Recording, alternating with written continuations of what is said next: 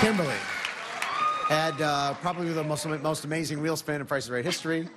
Uh, won $25,000. Uh, you had a gumball machine, giant gumball machine, gumball's not included, a trip to the Bahamas, and a pink Mini Cooper.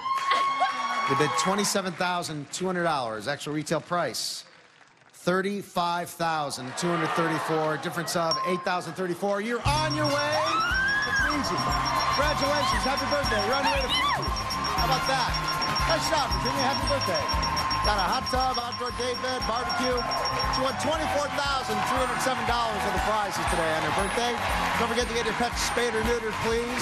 Thanks for watching Price is Right. See you next time. Bye-bye.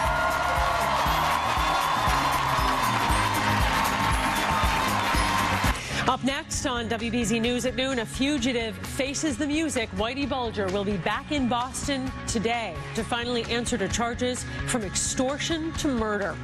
She spent 16 years with him on the run. Today, the woman at Bulger's side gets her own private date in court. And from his own family members to the families who say they're victims of the alleged mobster, complete coverage of the capture of Whitey Bulger is next at noon. The police department will make sure people of New York City remain safe. For those who would assail this great metropolis, we will hunt you down and bring you to justice.